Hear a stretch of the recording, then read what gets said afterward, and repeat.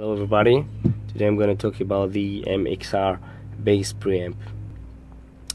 Okay, I got two preamps over here, the Harley Benton and the MXR. And uh, maybe you're asking what you need for what you need two preamps. Right, the answer is that over here in the Harley Benton, I got that phones over here. So I plug the the monitor earphones in in concert or rehearsals that want to have to sound it. I want to sound uh, the bass in uh, the earphones. Okay, and over here I don't have that.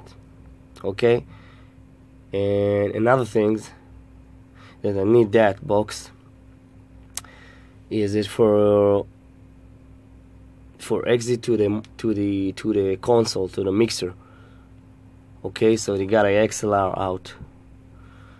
So I put that XLR to the mixer. I have also over here DI out but the reason I don't use it because the volume. If I put in earphones it should play like that something like that. Maybe less maybe more something like that but okay. Otherwise if I put a lot of volume it's, it's gonna be too loud too loud in the earphones so what I'm doing something like that. And over here I can set a lot of volume. So I can put a lot of in output and that's okay. Alright let's check it out and hear it